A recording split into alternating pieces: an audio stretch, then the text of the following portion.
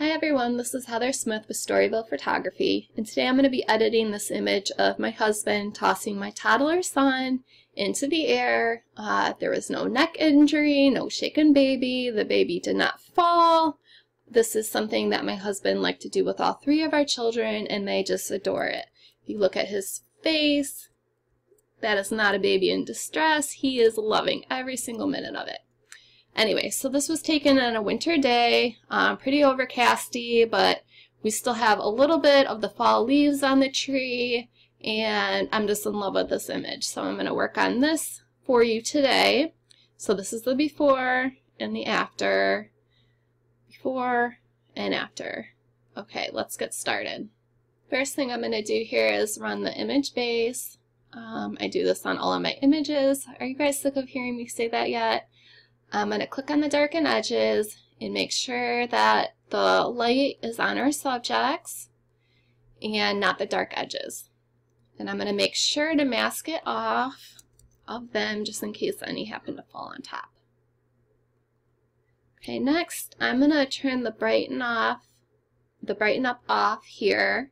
I want the background to stay dark and um, that's how I like it for this image. So Here's the before and after the image base. Next, I'm going to run the charcoal gray um, action to deepen the gray tones that are already there, but I want to add a little bit more to make it more dramatic. We're going to take a soft white brush on 100% opacity and paint it on. It's going to be really strong at first. I'm going to mask some of it off of the center here. We have those really pretty um, golden leaves back there that I'd like to keep, but this will just help enhance the color anyway. If you're doing this for a client, get in good and make sure it doesn't spill over onto your subjects. So I'm going to turn that down to about 50%. Soft black brush, brush some of that off there. Tone this down quite a bit. That looks good to me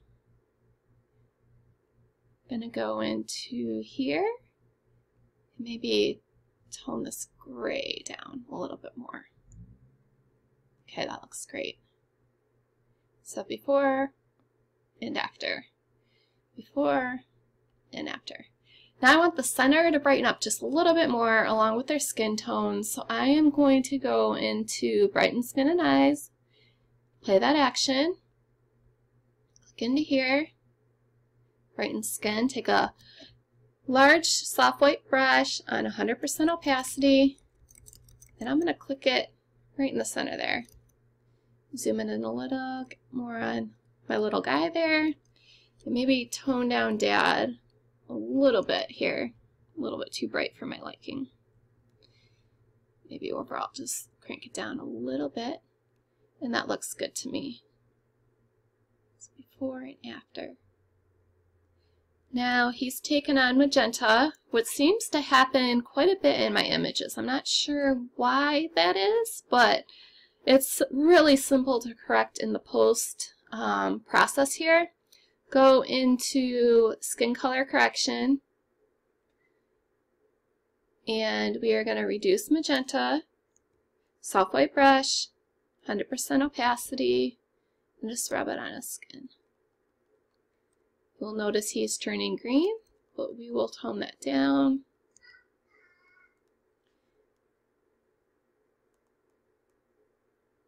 Oops. There we go. What a difference.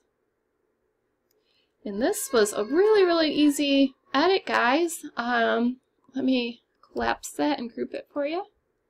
So this is after and before after, and before.